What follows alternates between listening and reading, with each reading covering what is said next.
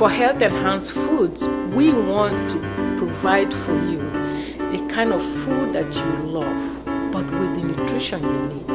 We are giving you a blend of flour. Now we have a product that is high in protein, high in fiber, wholesome, has minerals, and the key is wholesome. Many people are used to going to the grocery freezer to buy frozen pancakes, frozen waffles, so that uh, it will be easier for them in the morning. But what we are trying to do is to give you a blend of good flour that you can quickly mix and produce pancakes or waffles or muffins for your children.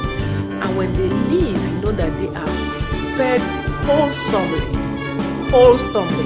They have the fiber they need, the protein they need, and all the right fat to stabilize them in school so that they can focus. We, we guarantee the quality of our products, and therefore, we encourage you to try it.